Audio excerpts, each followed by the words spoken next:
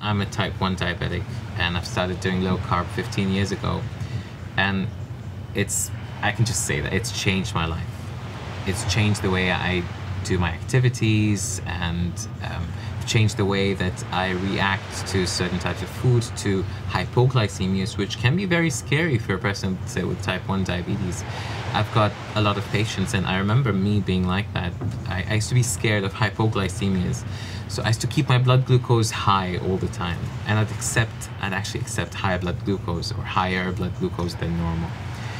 Um, but then I started the low carb diet and then I started the rule of small numbers. And with a little bit of carbs or less carbs, you need less doses and no hypoglycemia. And, and one of the beautiful things that happens on a low carb diet is that your body starts uh, adjusting to um, burning fats for energy and, and consuming ketones for energy.